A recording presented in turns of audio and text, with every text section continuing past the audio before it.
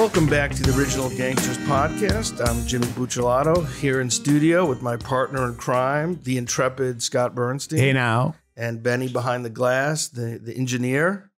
Um, just want to remind everyone uh, to please subscribe to our YouTube channel. Please subscribe to our audio podcast on Spotify, Google, on Apple, and please spread the word. We appreciate your comments and, and the kind words, and we thank you for your support. And before we get into our topic today, I also wanted to uh, just take a moment and expand on something that Scott and our friend Jeff Nadu were talking about on last week's episode. And I, I appreciate Jeff filling in for me. And um, they talked about collaboration with other content creators. And um, I think that that's important. And I think there's some content creators out there that sort of their seems like their purpose is to cut down other content creators. More adversarial. Yeah, right. Adversarial and, and antagonistic. And and we try not to do that. And we get along with a lot of the other content creators. So obviously Jeff is a friend of ours, the Sit Down podcast. And he's been on our show before. You've gone on his show before. You've gone on, uh, you've collaborated with RJ, who's a big John Pennisi and his sit down news, uh, Yeah. George Anastasia and Dave Schratwieser and their mob talk sit Yeah. down. Um, yeah, so we, we uh we, we're more collaborative and inclusive, I think, in our approach. And then we, you know, we don't view this as a zero sum game where you know, like it's traditional radio or traditional television, where it's you know CBS against NBC or ratings. you know, Cumulus Media uh, uh, averse uh, Entercom Radio or or uh, Westwood One or uh, uh, iHeartRadio. It, it's not. If one person wins, it doesn't mean the other person has to lose. Yeah, I agree. So I think that's important to point out. And and we've um I've I went on uh, Tom Lavecchia's show a few weeks ago, Armchair MBA, and um I've gone on the Mob Archaeologist show. Please check them out. They're good friends of ours. Uh, Angelo, Tony, Rick, Eric. Those guys do a, a great job. Um, shout out to Mr. Big, aka Milwaukee Mob. He, he's always been a, a big supporter of ours. Uh, Big Wayne. Check out his books and and and even like you're saying, even guys in the life, John Pennisi, Michael Francis, they've been on our show before. On the other side of the Bo- law, you know, Bo- Gary Bobby, uh, Jenkins, yeah, and Boston Bobby Luisi. Bobby- right? So we we I think that's important to keep that collaborative spirit. That's how it's supposed to be in academia, and I think it's it's nice that it's also happening with us with these other content creators. So anyhow, just just wanted to shout uh, out those other friends of ours. Um, we've got a, a, good episode today. Um, unfortunately, some some people have passed on, some some big names in the underworld, and we're going to talk about a few of them. But the definitely the the biggest name is um, Chickie Ciancaglini from Philadelphia, who was really the definition, just like on Scott's hat, an, OG. Um, I believe he was almost 90 years old. What 88? Yeah, 88 and uh, he's like was like this elder statesman of the underworld. But he he goes back a long way. He was he was a captain under Scarfo, and his his family is involved. You know, his sons have been involved in the life. So um, we we want to talk about his life and legacy, just like we did a few weeks ago with, with Jimmy I, and we do this sometimes, sort of a- an obituary, if you will. So, excuse me, um, His Scott. legacy's a lot less complicated yes, than Jimmy right, I in, in the light of the news that broke on Jimmy I's uh, Right. uh, wake about the uh, the document that claimed he was an informant. I, just to give a quick update on that, Yeah. Yeah. uh, I was able to confirm that that document. There was a lot of speculation about what that meant. Was he still cooperating after that document was drafted? I was able to talk to people that were uh, familiar with the document specifically, as well as how those documents uh, were drafted and what they meant. And that was a, a document, or that was a reference to a closed informant. So when that was drafted, I believe in 1979 or 1980, Iandino had already been closed, according to the FBI. Interesting. Um, the the the um, the the letter and number next to his name would have been different. It would have Hmm. said CI or CW or CL. It just said C, which according to the people I talked to stood for closed.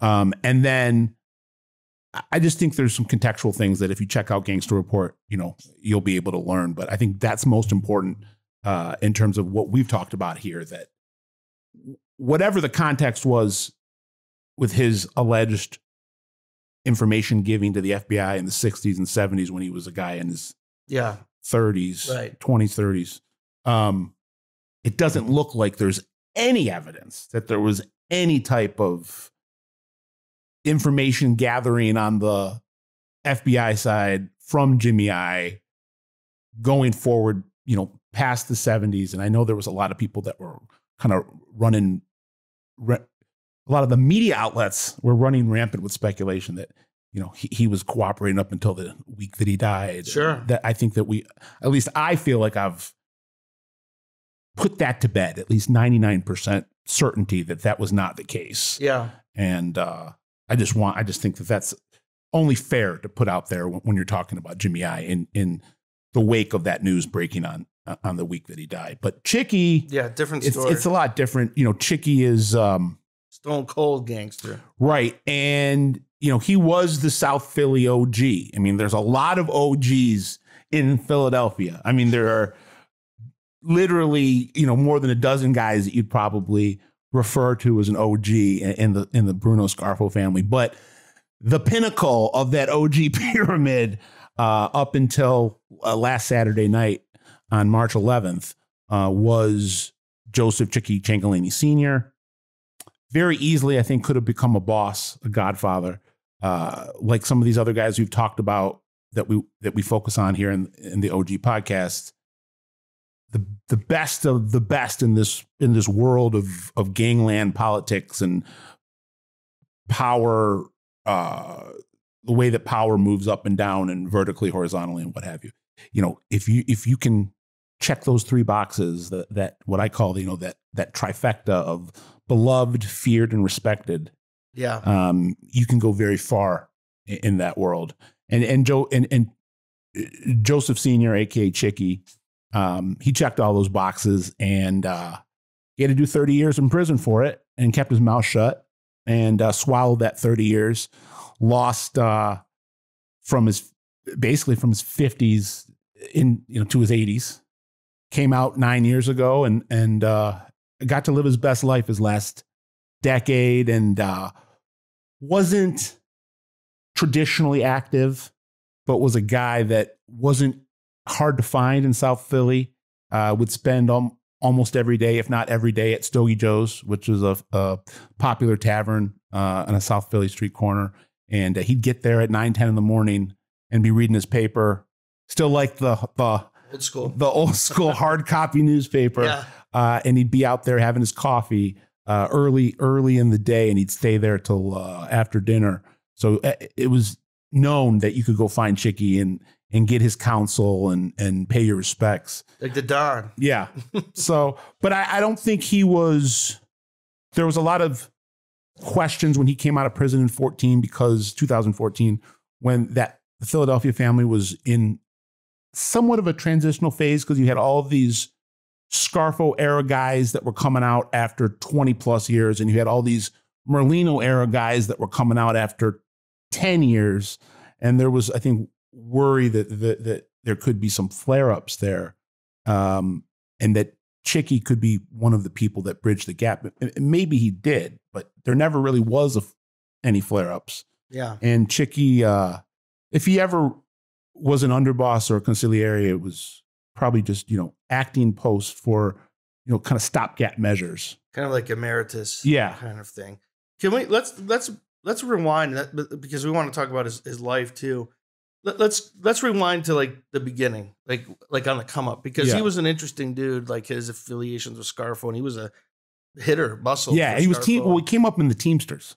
yeah, okay, in, yeah. in the late let's talk about 50s in the late 50s early 60s he got a, a reputation for being you know a, a, a union goon Yeah. and someone that kept people in line and A uh, knee buster. yeah and uh, he was a a big burly guy dark complected I, i've heard a lot of guys that knew chicky that referred to him as thick blooded um, he would get hot really easily um and i mean like liter- not not figuratively like hot you know as a temper but like physically he would get hot easily. And he was known for someone that uh, always wanted to have the windows open when he drove the car and always wanted to have the air conditioning on Mhm. uh, but uh, he, he was made a name for himself in the teamsters before he made a name for himself in the mafia he started to get on the fbi's radar uh, in the late 60s, early 70s, when he was, according to the government, was the, the top lieutenant or right hand man to a powerful and, and very duplicitous and dangerous uh, capo regime known, uh, known as Frank Sindone or the Barracuda.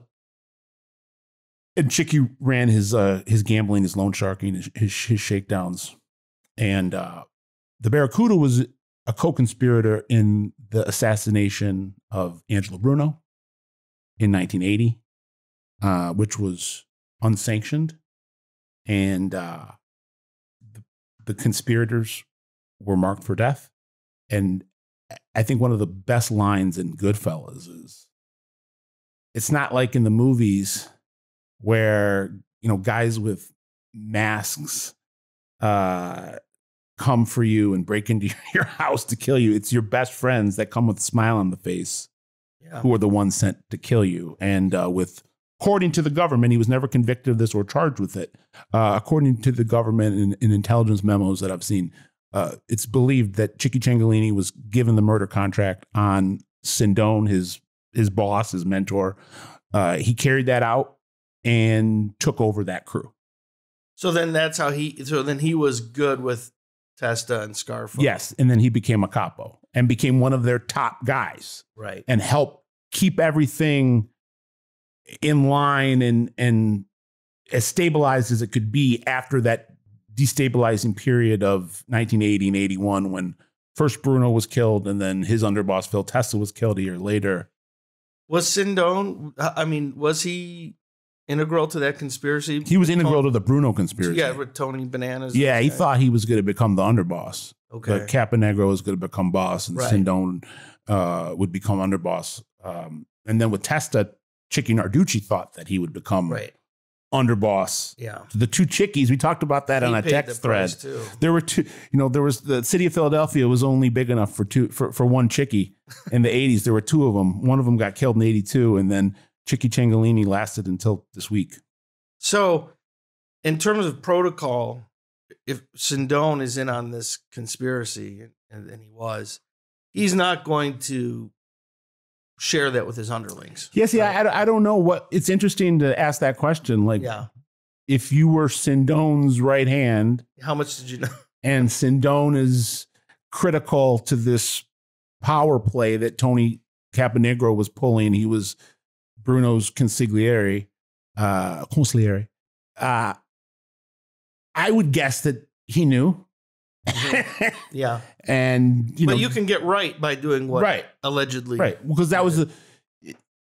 They want the person closest to you to be able to either rein you in and bring you in to get in line with the new regime or to take you out. Yeah. Yeah. So so either way, he he he made it right, even if he even if he had some insight Yeah. that situation. And, but what's you know interesting in the way that uh, you know fate plays a role in how things evolve and how how how crime families how power ebbs and flows. You know he the stuff that was going on during the Bruno era. Chickie had to account for uh, legally Mhm.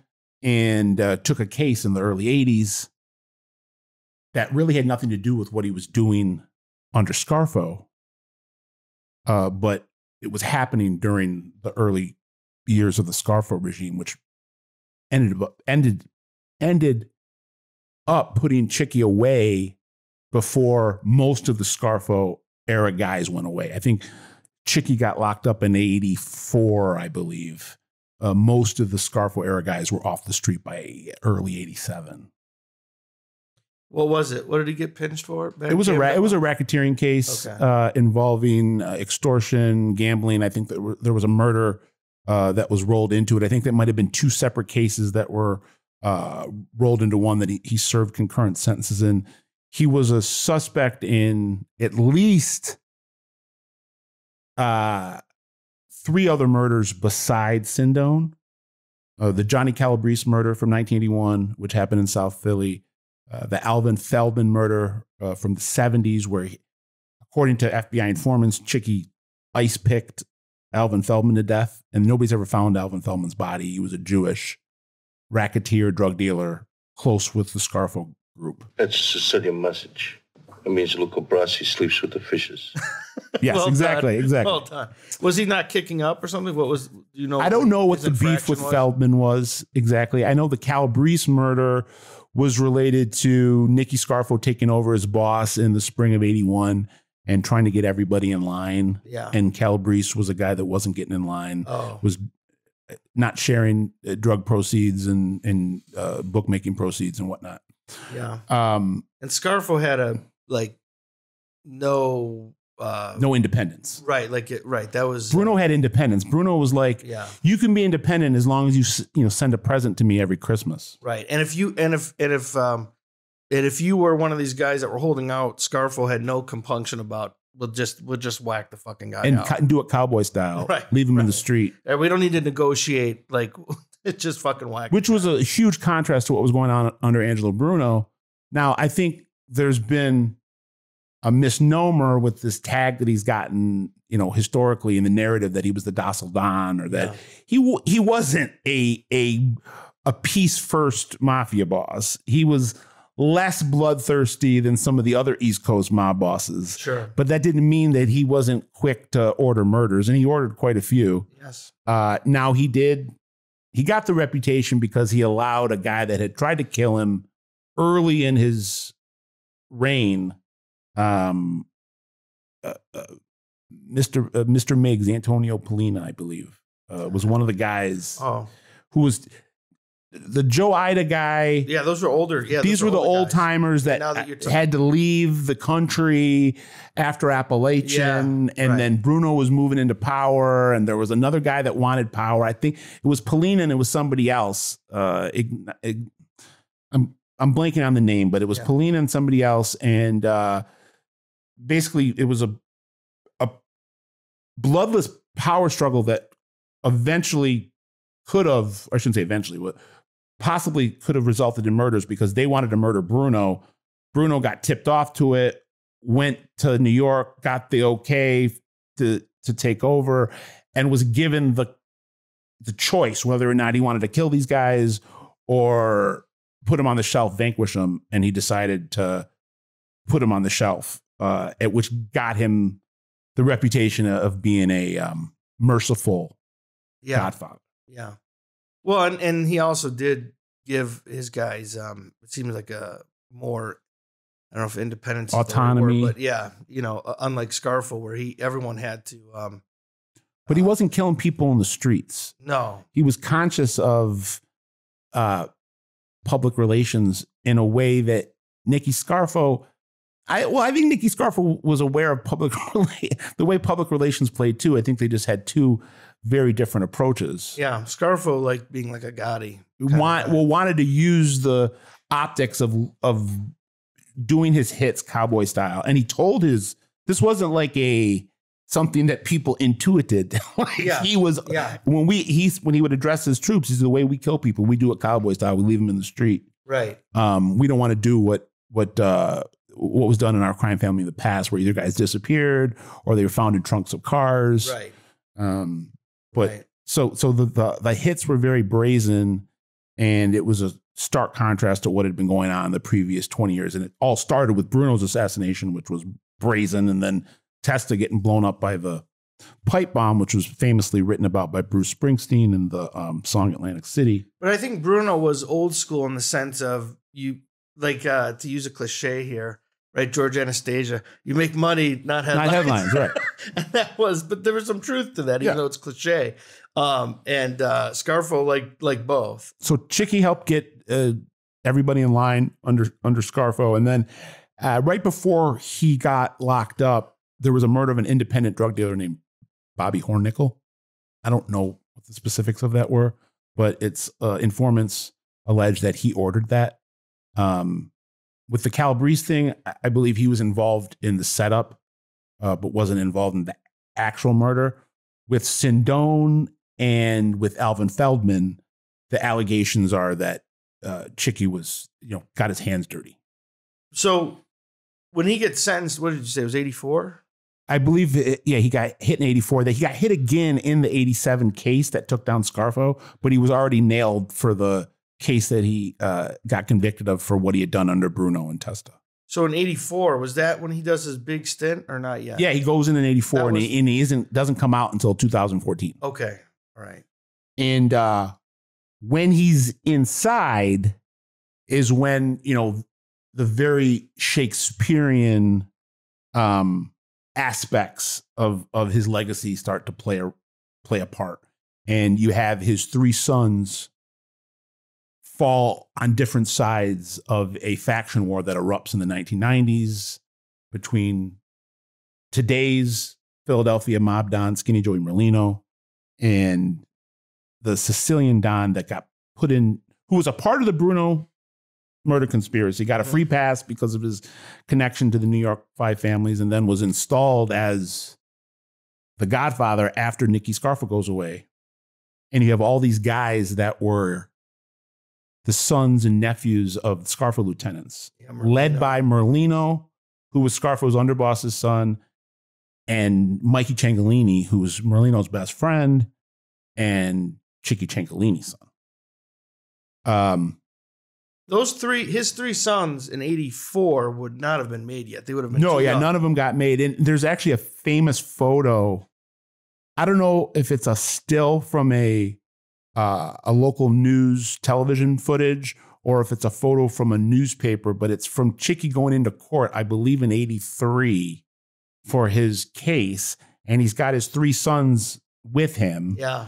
and they are all kind of like, or at least one of them is like combing his hair, and the other one's like popping his collar. And they're at that time, they're all in their 20s. And it's like the picture of a, a, a mafia family. And fast forward 10 years, literally 10 years, and it's like someone took a sledgehammer Yeah. uh, to that photo, and you had you literally had brothers trying to kill brothers. Um, And not And- not just trying, succeeding in one Right. one case. a- and uh, it's just one of the most compelling mafia uh, a- anecdotes or or or situations of, of the last fifty years. What happened with the Ciancaglini family and how it intertwined in that power struggle of the 1990s. And I, I think that I've been able to uncover some insight that, and George Anastasia has, has done such an amazing job of chronicling all of that. And I wouldn't know any of what I know if it wasn't for his reporting. And his So- books. Right. And it's, so anything that I report, it's just, it's because he laid the groundwork for. But uh, I think I've been able to shed some fresh insight on what Chickie was advising from behind bars because there was a belief um, that both Chickie and Chucky Merlino, Joey's dad, were like coaching this younger faction and encouraging them and pressing them to go to war with Stanfa. Yeah. And I can't speak to what Chucky Merlino was telling Joey. And Joey also had Ralph Natale in his ear. But I've been able, in my reporting and people I've talked to, I've been able to destroy this narrative that it, that had emerged that Chickie was somehow Subversive. Right. Or Chickie was backing one brother or one son against another son. When what I heard, oh, for people that might not know, uh, so you had Mikey Chang was on one down. Side. br- explain the politics of it. I know we've talked about it in other Yeah. episodes. Maybe but- people don't know. Yeah. Joey Chang, who's the namesake of Chickie, Joseph Ciancaglini Jr., was named underboss to Stanfa. Stanfa named him his number two as in in theory as a like an olive branch to the to the Ciancaglinis and Merlinos to come underneath Stanfa's banner. Now, Mike or so Mikey Chang is with Joey. Joey Chang is with John Stanfa. And then Johnny Chang, who's the brother that is the really the the peacekeeping brother between Joey Chang and Mikey Chang, is locked up with dad. And you have without Chickie on the on the street and without Johnny Chang on the street, you had two brothers in Joey and Mikey, who I guess there was a lot of animosity from when they were kids. Uh, they had never gotten along, I guess, the way that maybe Joey got along with Johnny and Mikey got along with Johnny. Joey and Mikey didn't get along as well. So I think it was a miscalculation, it proved to be a miscalculation by Stanfa that putting in a guy that, even though it was a brother to Mikey Chang, but someone that Mikey Chang didn't always see eye to eye with, uh, was the was the cure all. Right. He couldn't he couldn't rein in.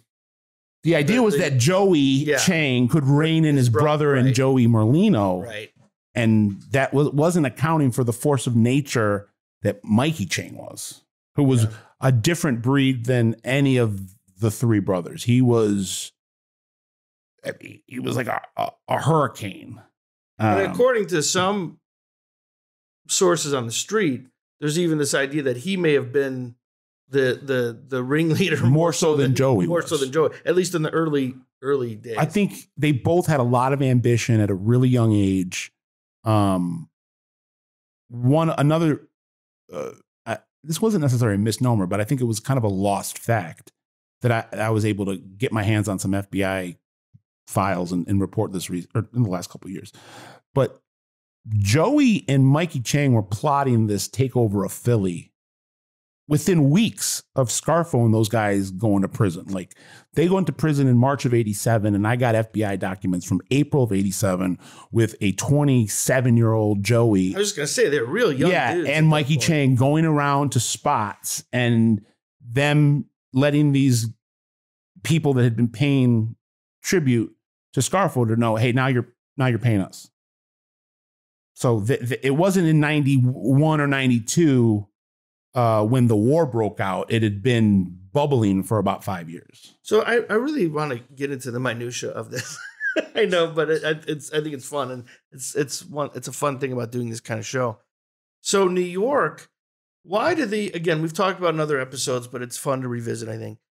Why is New York backing Stanfa? Is it because they think that these guys are too young and Yeah. inexperienced? Chang and Merlino, like, is I mean, why? and they had nobody vouching for them until Ralph Natale, or I think Ralph eventually gave them that backing in New York. Mm-hmm. And Ralph Natale was an old school Bruno guy that had been like a hitman and a labor fixer, arsonist, drug dealer, goes to prison, gets put in a cell with Joey Merlino.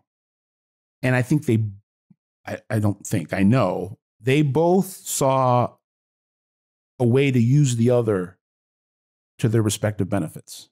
Right. Joey needed someone to politic with him with the old school guys, and Ralph had made a lot of connections with the New Yorkers in his 15 years in prison, um, and specifically the Chin and Gotti and uh, Junior Persico, and uh, you had Joey, or sorry, you had Ralph, who needed muscle on the street to do what he wanted to do, which was take over the family. I don't think he cared that it was kind of a name only. He he wanted the title of Godfather. Sure. So they kind of hatched this plan behind bars, but it, like I said, I, I think it's been lost that that plan was already percolating before Joey ever got to prison. Joey had to serve, a, I think, three years for a truck heist, a, a, um, a uh, armored armored car heist where he stole like three hundred fifty thousand dollars from a a, a bank, uh, a, a, an armored bank car that he had a deal with the person that was driving the car to drop the money. So it wasn't like he came in with a gun. Right. Like they dropped it somewhere where they just ca- where the Joey and some other guys just came and picked it up. And then Joey stole all the money, didn't give any of his his co-conspirators any of the the cash. And then I think the guy that was the inside man with the armored car company gave them up. Snitched him up. Yeah. So now when when jo- I know uh, these guys have the same first name. When Joey Chang, when Stanfa makes this uh make you Sotto Capo, at that point, so he's all bought in. Then at this point, he's like, I'm I'm I'm Stanfa's guy then now. Yeah. Even though my brother and my guys I grew up with, whatever, he's all Stanford with was making him underboss. So that's yeah. I don't think. I don't think Joey Merlino or or Mikey Chang had planned to make Joey Chang. right. maybe they maybe they had planned to give him a capo spot. I don't know, but I don't think he was going to be in the administration. And do, what do you think? Obviously, this is speculative, but you you know this area. You talk to a lot of people. Do we do we know anything about his mindset at that point? Is Joey Chang confident that he can rein in his brother and the young guys, or what? I wonder what his Yeah, I don't know. Mindset I know that uh, in terms of leadership. this you know? was in the wake. What what snapped Stanfa to attention was the fact that the Merlino, Mikey Chang, Ralph Natale faction had killed Stanfa's number two, uh, Little Felix Bocchino, who was another co-conspirator in the Bruno hit 12 years before that. Um, and even though Little Felix wasn't officially Stanfa's underboss, um, he was acting as it, and I think the belief was he was going to be named underboss, but he was acting as Stanfa's uh, liaison to the street, getting trying to get everybody in line under Stanfa. And Bocchino gets hit in early '92, and Merlino gets out of prison, and that's when Stanfa figures I'd rather make peace with these guys than go to war with them he actually Stanfa actually makes Joey Merlino and Mikey Chang, but he had made Joey Chang before. okay. He made Joey Chang in like ninety or ninety one. So they had this pre-existing relationship. So with so when Mikey Chang is opposing Stanfa, Joey Chang's got a one up on his brother. I got my button, you don't. yes, right. That might have fed into some of that resentment. I, I'm Yeah. Well, I think it did. Yeah. So Mikey and Joey Merlino agree and they get made and Joey Chang becomes underboss. And like everything was copacetic for like three months. I mean, it fell apart real fast.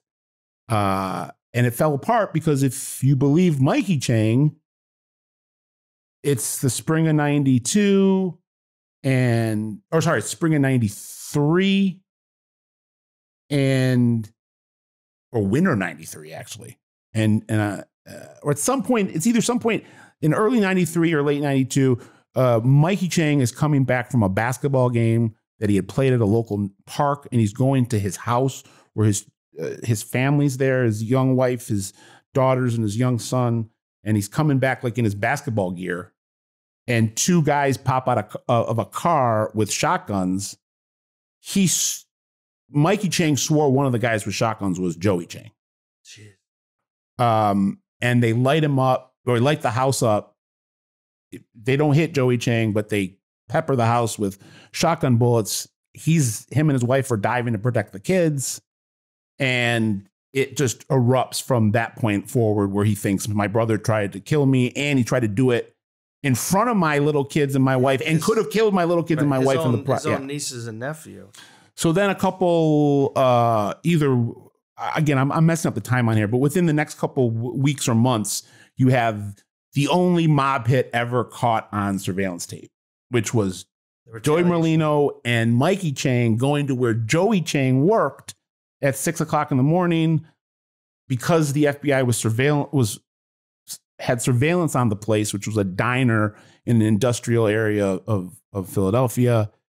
And Joey Chang seems like a you know he wasn't one of these guys that was uh, out till five in the morning and sleeping till three in the afternoon and then getting into he's he's going in and opening this place up at five o'clock six o'clock in the morning and working behind the Yeah. the counter at a diner and they know that. And so the FBI has got a surveillance video up right outside of the diner. And they caught this hit team rolling up, going in there and like unloading multiple clips in into Joey Chang. Uh, and miraculously, Joey Chang survives, but uh, he's he's Paralyzed, isn't he? I don't I think he was paralyzed, but he's disabled and has never been the same since. You know, can't. Uh, he's got to walk with a cane and just it ended his life in the mob. By the way, if I were a made guy, I would definitely be the guy who stays up till six in the morning. yeah, right. I wouldn't be the guy up waking. What's the the point of being the underboss Right. if you got to wake up at six o'clock to open up your restaurant? right. So, I, I, I mean, it's a very serious situation. So, I. But- but what- But I think there was this this false narrative that made it out, and, and and it's hard to when you're reporting in real time. So I'm not blaming anybody for the false narrative. I mean, I I can get why you would believe that uh, Chucky Merlino and Chickie Ciancaglini were were coaching Joey and Mikey from the sidelines, when in reality, I'm told that it was relayed in a very firm manner that Chickie was telling Mikey to calm the fuck down and telling Joey, you and Mikey go, the boss is the boss. John Stanfa's your boss. And get in line and be La Cosa Nostra. Kind of Yeah. like Anthony or uh, like uh, Neil Dellacroce, yeah, or the actor playing Neil Anthony in Quinn, and yeah. Anthony Quinn playing him in the movie Gotti. yeah, the right. Um, and if if the boss says you got to go, I'd come in here with these two zips. yeah. you would go. um, but so so what access at, like in between the, the the the shooting of Mikey, attempted murder of him. What what kind of access do they have to their father in prison? And they're the sons now. They have visitation rights. I know they were visiting Ralph on a regular basis. Ralph at that point was in federal prison, but he was in either Pennsylvania or New He Jersey. He was really close. Yeah. Okay. and they would have frequent visits with Ralph. I think the con- I think the um, contact with Chickie was coming through intermediaries and phone calls.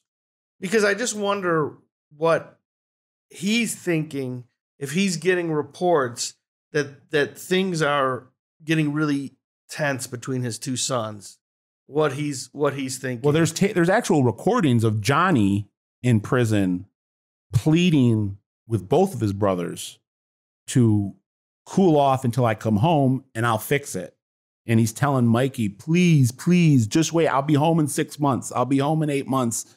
And just don't do anything crazy. Like go try to kill your brother at his diner.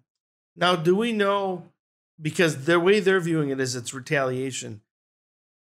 Um, how confident are you in Mikey Chang's theory that his brother was indeed one of the shooters?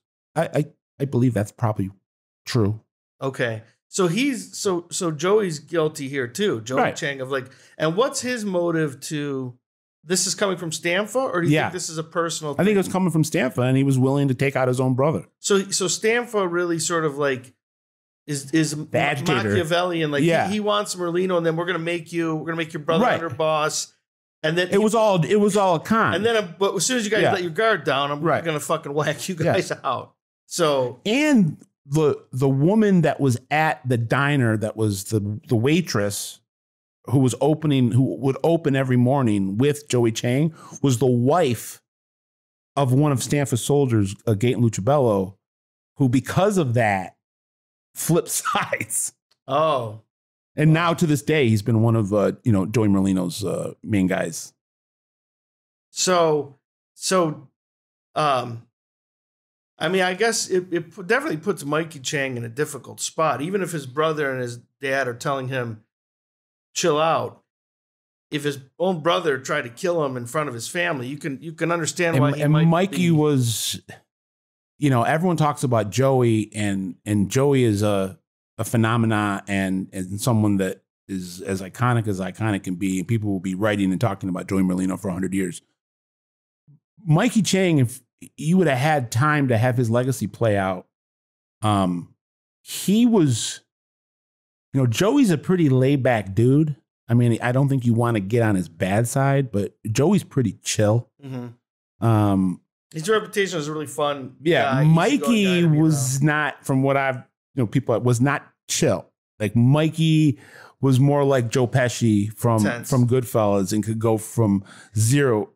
Now go home and get your fucking shine box. yeah, right. You could go from zero to a hundred in, in the blink of an eye, and it didn't matter if you were his best friend or your worst or, or his worst enemy. Yeah.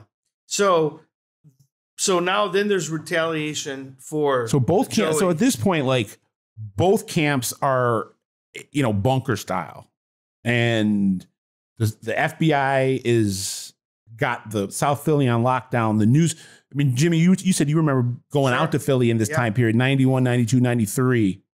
Uh, and the and the newspapers are, are reporting it on a daily basis. Yeah. The news, the television news is reporting on it. Uh, people aren't living in their houses; they're living in safe houses. And when anybody's traveling, they're traveling with weapons, which gives them, you know, makes them an easy target uh, to get to get pinched.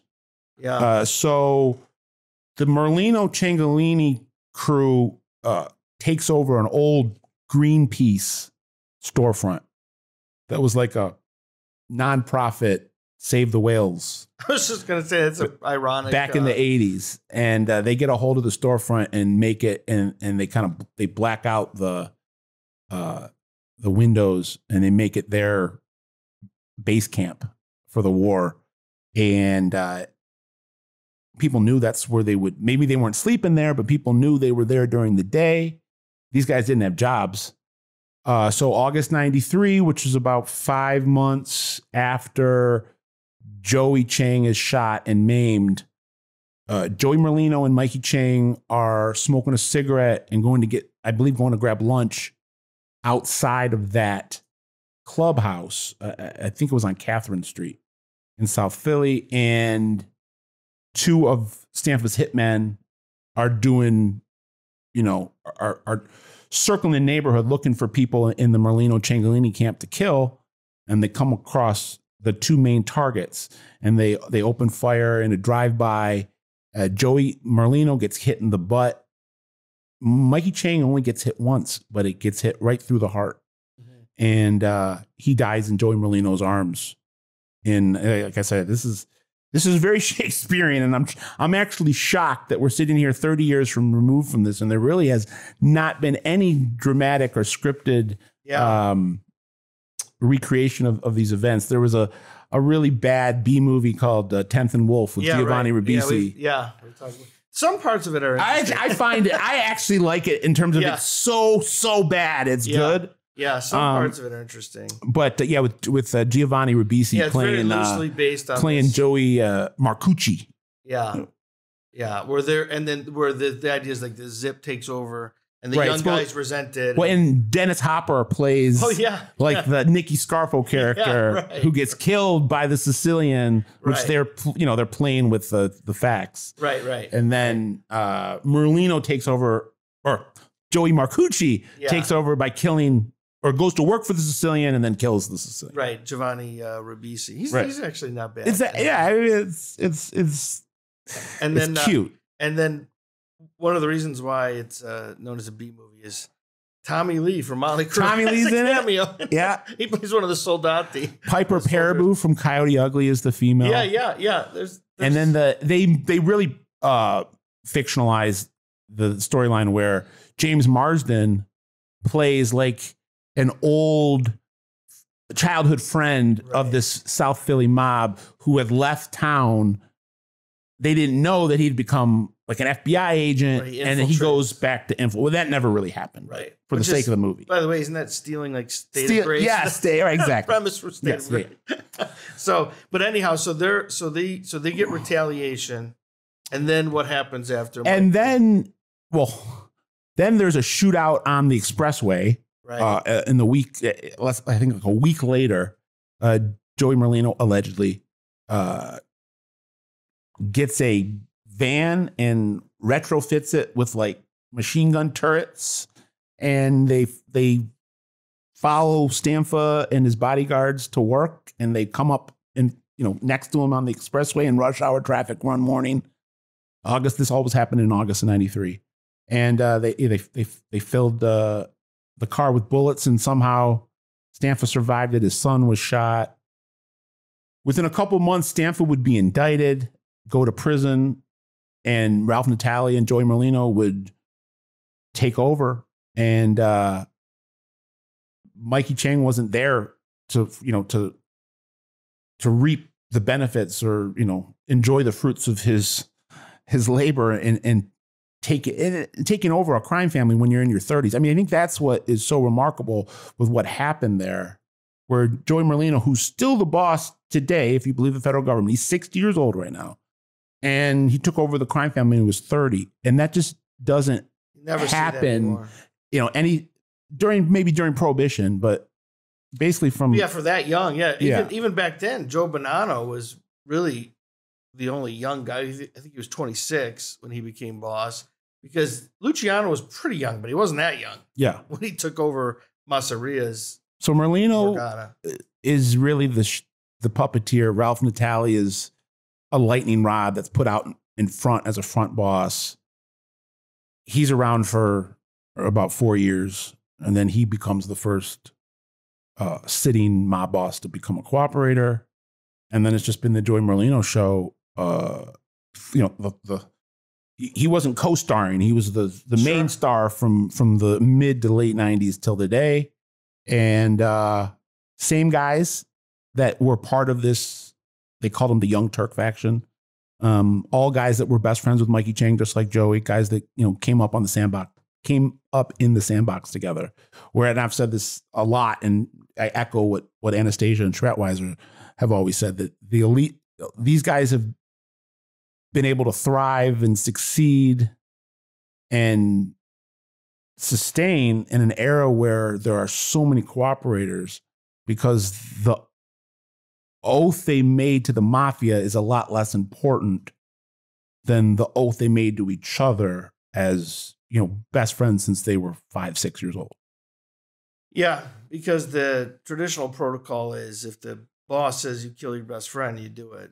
Um, and so back to the like, I'm interested in this like kind of a social psychology here. It's a very tragic. and then johnny story. and then johnny chang comes out of prison yeah, that's what I want to get back. and to. he goes underneath you know joey and becomes and to this day he's one of uh, joey merlino's uh, top lieutenants and and advisors So that's the old school way, which is he doesn't hold a grudge against him for killing his brother, or not killing him, but well but, get- but potentially maiming- getting his brother killed right, right. But I don't know how much this has been reported. Uh, I think I've talked about it here and there. Chickie Ciancaglini did not feel the same way from what I can, That- that's what, I, that- that's what I want. How is he processing? Do we have any evidence of how he or insight? Yeah, I've- how is he processing? Is you know he blamed. uh, What I heard was that he wasn't going to get adversarial with Joey. You got to remember, Joey, in some ways, was like a nephew to Chickie. Uh, Joey, when when Chickie was rising to prominence, Joey was a teenager and a kid that was around all those guys doing Yeah. errands. yeah And uh, his dad was best. You know, one of his Joey's dad was one of Chickie's best friends. So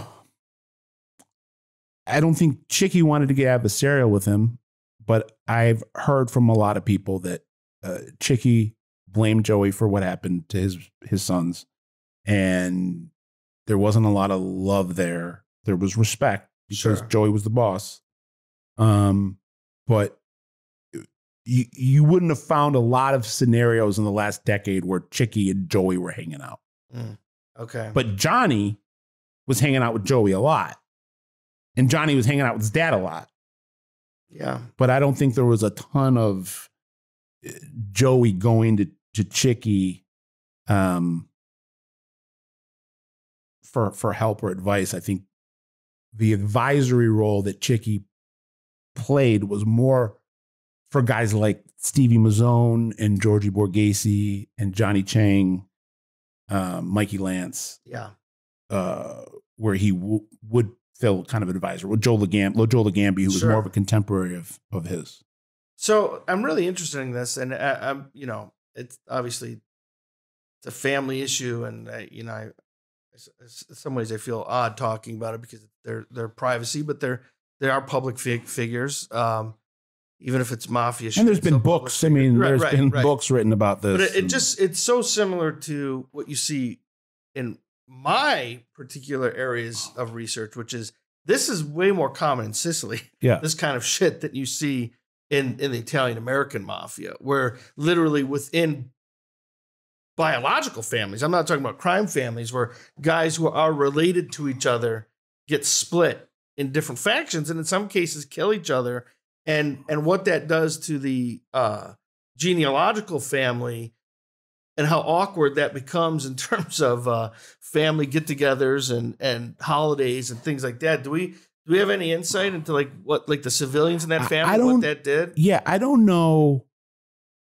I've seen a number of photos over the last decade of Johnny Chang and Chickie. And I know that Johnny spent a lot of time at Stogie Joe's with Chickie. I know that part of this last 10 years for Chickie was him getting to know his grandsons that he never got to really meet or develop relationships with outside of prison visits or phone calls. I know that at least one of those grandsons belongs to either Joey Chang or Johnny Chang. Mm. Or sorry, uh, I'm sorry, I'm getting either Joey Chang or Mikey Chang. I see. Uh, uh, and I believe Mikey Chang's son, um, little Mikey Chang, uh, has been serving as uh, some form of driver for Chickie. But again, I want to be very clear that I don't think Chickie was very active. Understood. But I know that little Mikey Chang uh, spent a lot of time with his grandpa at Stogie Joe's and could be seen kind of taking him. Pa- Part of that just might be. I mean, I did the same thing for my grandpa at the end. I had, had to make sure he gets out of the car Yeah, and doesn't, doesn't- fall down. Doesn't mean it's nefarious. Right, And, right, right. uh, um, and and so he would have been pretty young when his dad was. yes, he would have been a you know a baby. Yeah, it's sad. So, um, and I, so there's there's a couple of ways it can happen, like in these Sicilian case studies, where the vendetta just goes on, and then and in some cases there's family members who won't even speak to each other because of because of this. In other cases, they they fall in line and and are like, we can't change it. Yeah. this is what happened, and we got to move forward and come back together. And um, it's it's Cosa Nostra. That's how it works, and we're not going to let that um, interfere with our sort of genealogical family, and we're gonna try to make this work the best we can. You I, know, the, the the I I didn't finish the the um, what I was trying to say about the, and it's my fault. I, I got off track, but I've seen pictures of Johnny Chang and Chickie, a number of pictures. Dare I say, maybe a dozen a dozen photos uh, over the last ten years. I- I've never seen a picture of Chickie and Joey Chang. Mm. I haven't seen a picture of Johnny and Joey Chang. I don't really know where Joey Chang. Yeah, what kind of shape is he in? I don't know what kind of shape he's in. I don't Yeah. know what his relationship is with Johnny because of Johnny's relation to Joey. Sure.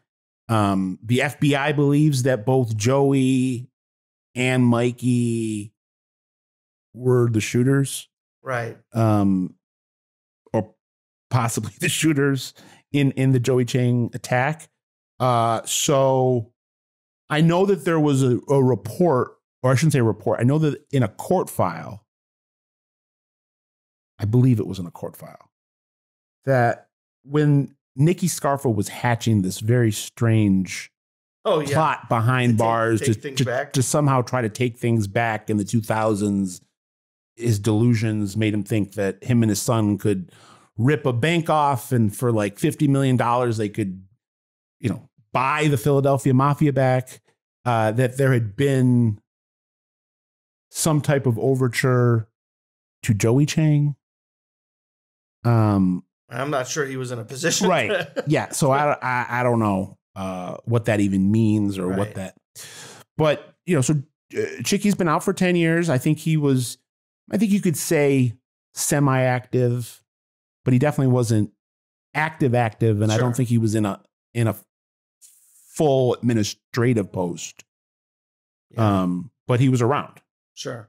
Yeah, you can just Google and there's you see pictures of him. On There's one photo. I think the photo that comes up first is a photo with him, Johnny Chang, and then Jerry Blavat, the Geator with the heater, who was the famous radio disc jockey Yeah. who just died recently. at a baseball game or something. Is that the one you're talking about? I thought I saw. Uh, I, No. I thought it was at a bar. Oh, maybe. Well, I, yeah, whatever. Um, but Jerry Blavat owned Memories in Margate, which is a, a very famous uh, club that everyone would, all the mob guys would hang out at. And he was known as a, in addition to being a, a big voice on oldies radio on, on in Philadelphia, New Jersey, he was someone that dating back to Bruno would always take audience with mob bosses. Mhm. Okay. So I, I know that's the photo. If you put in Chickie Ciancaglini, that's the photo. That's that's the Yeah. first thing that pops up. Yeah, up. so he didn't lay low when he got. No, he was at, and he was at Stoke. You know, I don't know. Some of the Philadelphia reports uh, of, of his of his death were afraid to name the restaurant. They they said that he would spend his days at a South Philly bar. I, I apologize if if the people at Stogie Joe's take issue with with me reporting that it was Stogie Joe's. I've never really understood it, uh, other than I get it. You know, you you don't want to be labeled a place with hoodlums hanging out. But to the on the other side of the pendulum, just the kind of the smell test or the eye test in any city, most places that are known as mob hangouts, whether it's known publicly in the press or just known on the street, are popular, successful businesses. Yeah, it doesn't. It doesn't tarnish- affect doesn't their business. Their, yeah, it doesn't tarnish Yeah. their. Yeah, tarnish their. If anything, I think people were going to Stogie Joe's the last 10 years to get a look at Chickie if he was there every day. Yeah. Um, what do you think? Uh, again, all speculative, but you you know a lot about Philly.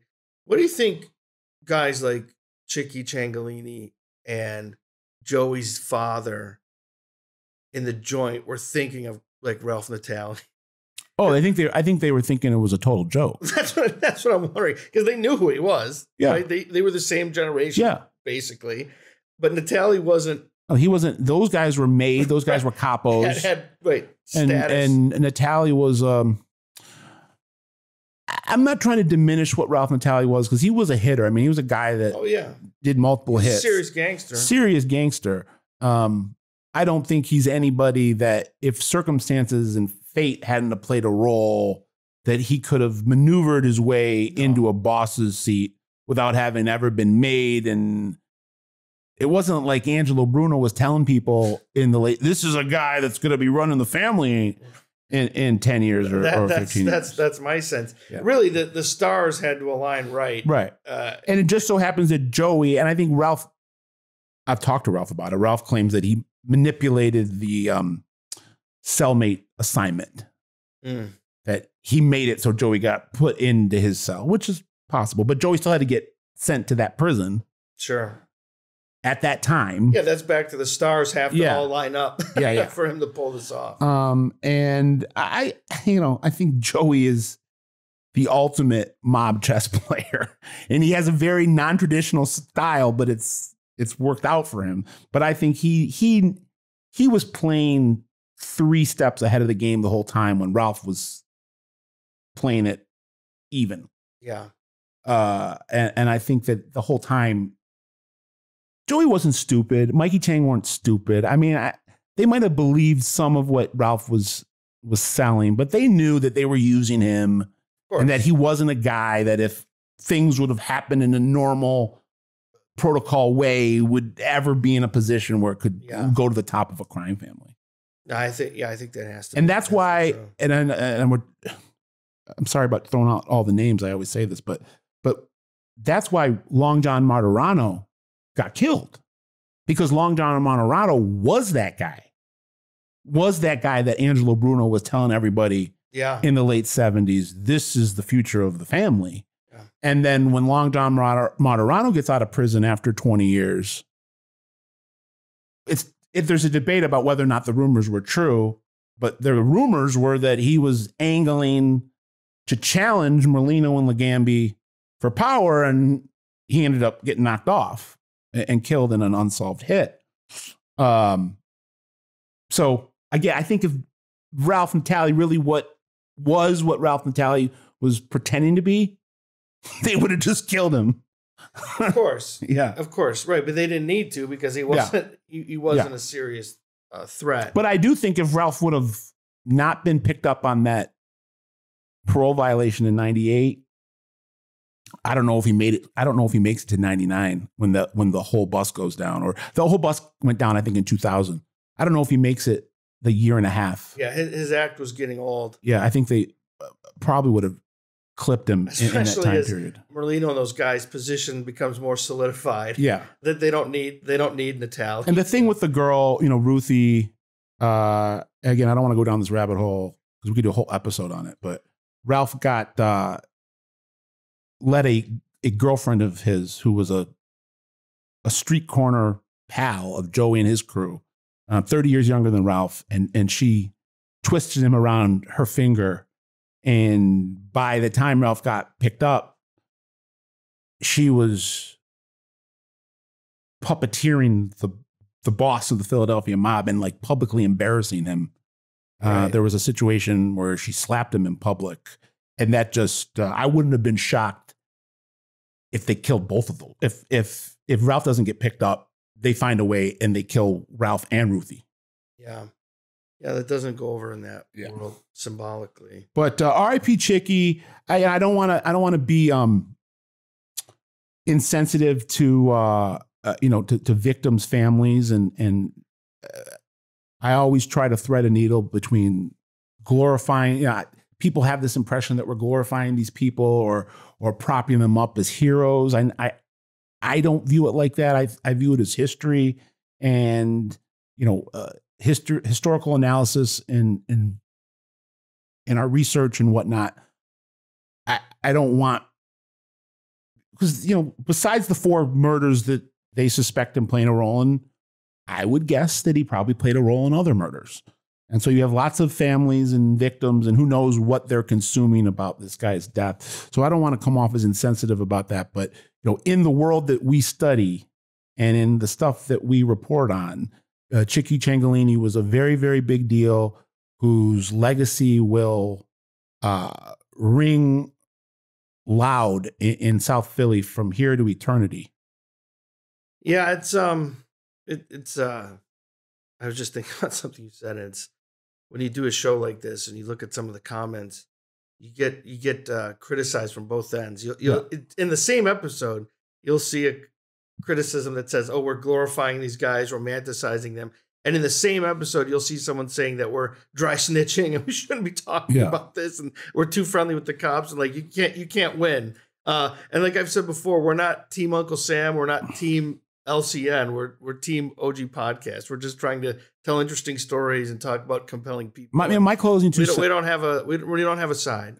my closing two cents and just playing the what if game is that again, if things go differently, I, I could see Chickie Ciancaglini becoming boss of this family after Yeah. Scarfo goes uh, by the wayside, and the the Ciancaglini mob dynasty could have played out a lot different if Chickie's on the street with the three sons. Well, he probably would have been a good boss. Yeah, and I think he would. I think he would have been a guy that uh, would have been like a, a Joe Ligambi, Yes, who who came in and uh, after Merlino went to prison as an acting boss and as a consigliere, consigliere and was you know to me Joe Lag- Joe Ligambi is like the the the underrated superstar of the American mafia in the 21st century. I mean, it's a guy that you would have at least I would have never predicted um, would be one of the top bosses of the new millennium, and and uh, you know he gets an A plus report card from Yeah, me and what he- he's he done really with that family, and really stabilized. and things. and Chickie I think would have been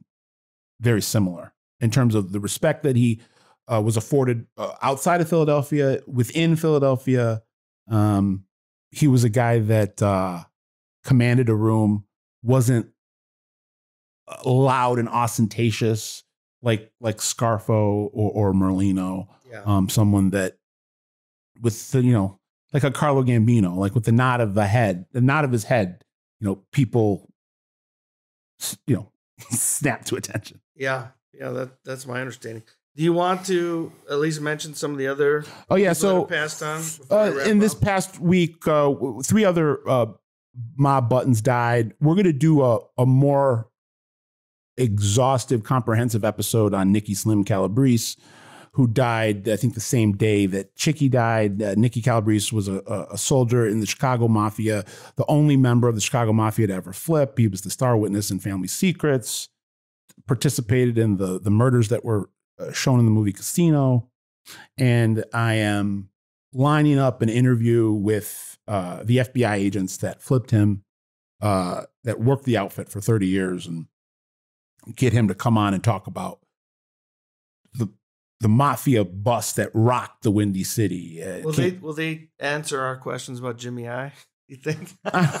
we'll see. okay. Uh, so look for that in the next couple weeks, uh, and then in New Jersey, a longtime capo, uh, uh, uh, Paul Farina, who went by the nickname uh, uh, Paulie Figs because he used to plant fig trees, uh, was ni- died at 96 years old. Got named capo in 1965. Wow. Became a uh, a ruling board member in the late 90s, early 2000s. Married his daughter off to uh, the boss of New Jersey in the 2000s and 2010s, Frank Guarraci. And uh, he he died a couple weeks ago. Uh, a Teamster, sorry, not not a Teamster. He was a um, a labor union official that was Longshoreman or something? I think it was eight. I think it was H uh, HOD carrier.